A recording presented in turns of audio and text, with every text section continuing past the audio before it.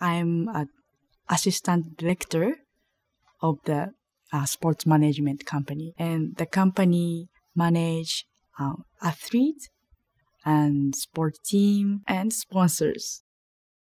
When I was third grade of junior high school, I participated in our youth archery competition, world competition, as a representative of Japan.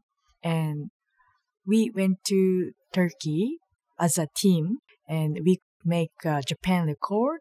Then I still have the Japan record of for youth. I was a very shy girl. Playing archery made me less shy and have more confident. You don't need to have a perfect knowledge of the field. If you have a passion, then if other people thought that you have a passion and you are interested in the field, the chance may come to you.